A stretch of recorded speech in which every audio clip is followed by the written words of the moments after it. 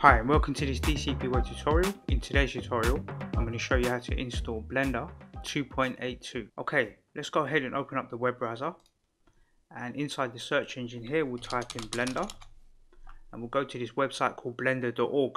I'll put a link to this same site in the YouTube description. We've got a blue button to download Blender 2.82 which is the latest version. Let's go ahead and click that the web browser is going to detect what type of operating system I'm using. So as default it's offering me to download the Windows installer. If you have a different operating system you can select that from the drop down menu here. I'm going to go ahead and click on this blue download button.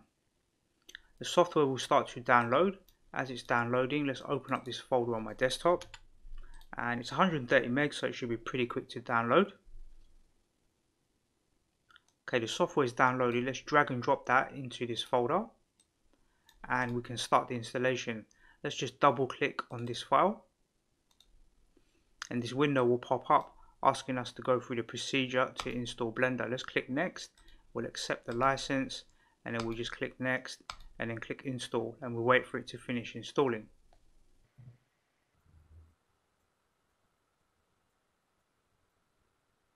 Okay, Blender's finished installing.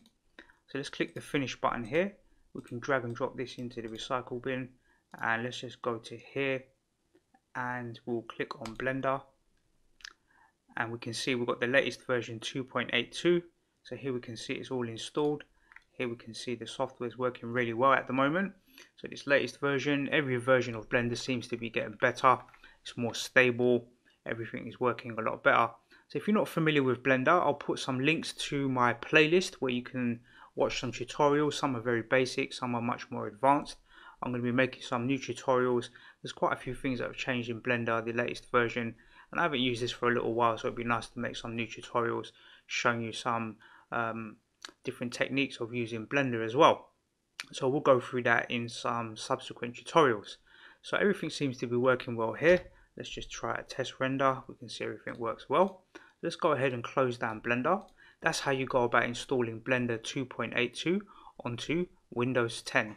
I hope you find this tutorial useful and I look forward to seeing you in the next DCP web tutorial.